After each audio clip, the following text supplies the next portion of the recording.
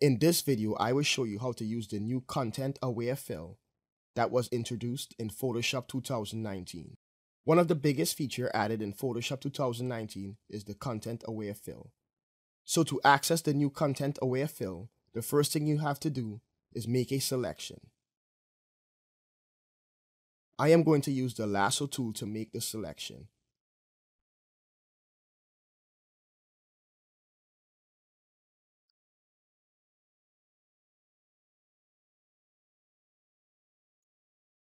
So once you make your selection, click Edit,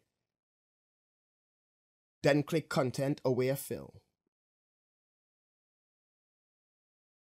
The new Content Aware Fill workspace will open. On the left is the original image, and on the right is a preview of the Content Aware Fill results. You will notice that the preview image has a green tint.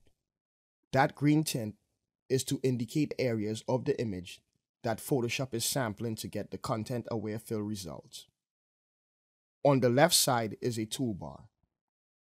The first item in the toolbar is the sample brush tool.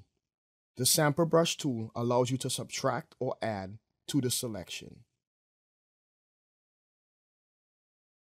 The next item in the toolbar is the lasso and polygon lasso tool. These tools allow you to add or subtract from the selection. The next two options are the Move tool and the Zoom tool.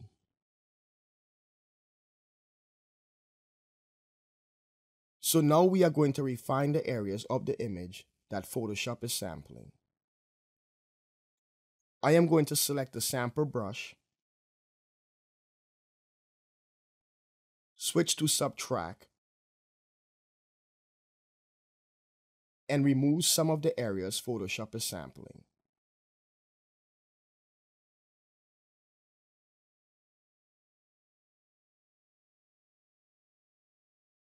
The results look pretty good. Now let's look at the menu on the right. The first option is opacity. This option sets the opacity of the sampling area overlay. Color allows you to set the color of the sampling area overlay.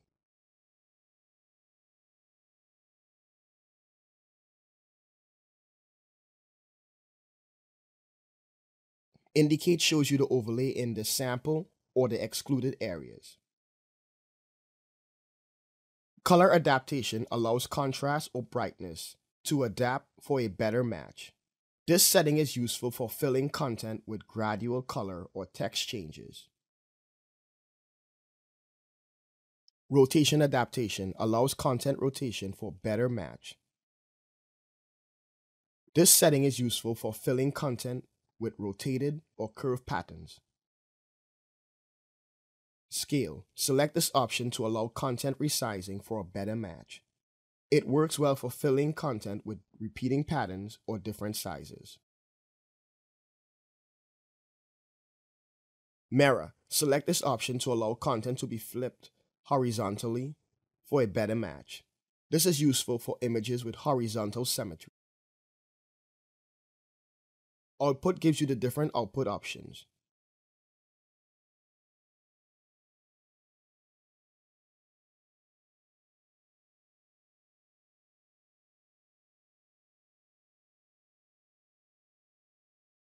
So that is how you would use the new content aware fill. I hope you found this video helpful. If you are new to this channel, I would love to have you subscribe. Also, make sure to check out some of my other Photoshop tutorials.